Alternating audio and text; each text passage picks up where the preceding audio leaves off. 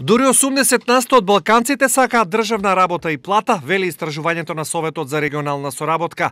Најмногу настроени кон државните служби се граѓаните од Црна Гора и Косово, дури 84 насто.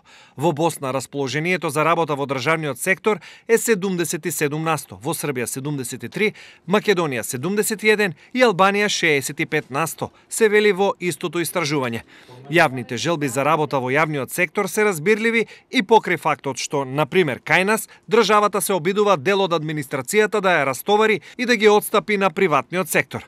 Но истражувањата велат дека само 20 насто од македонците ги сакаат приватните компании, но и дека аргументите на тие 80 насто граѓани не се спорни. За подсетување, оваа година администрацијата има 37 неработни денови и неколку можности за спојување од А за администрацијата и одговара. одговара. Они и за тоа го прават. За ним го прават овие овие работи што се Па се спојуват, бога ми. Спојуват си Но не е правилно. Кога можат приватизација, приватните да работат, ќе работат и дежурни, нека постават они. Повразуваат ги.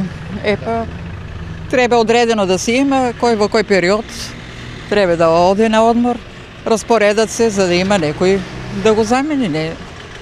Сите да идат на одмор и ние дете да, да. Ова значи дека трудот на министерот Дамјан Манчевски однапред се знае дека ќе биде залуден зашто во приватниот сектор за овие луѓе нема многу среќа. За нив таму е теренот трусен, стресен и неизвесен од секој аспект, па затоа нивната намера е на своите места да останат за секогаш. Тоа што овој сектор нема работници во никој случај не е нивни проблем. Од друга страна, само пред неколку дена државата распиша оглас за прием на нова административна снага и тоа со плати од 20 до 120 илјади денари. Ова потврдува нова несериозност на политичарите кои пак не сакаат да се откажат од изборните услуги на администрацијата.